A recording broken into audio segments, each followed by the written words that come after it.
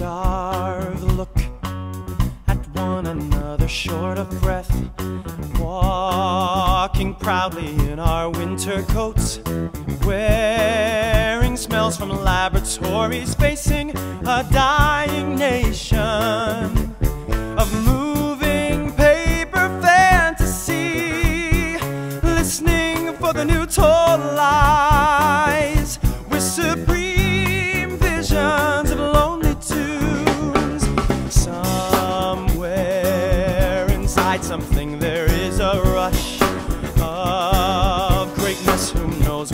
in front of our lives? I fashion my future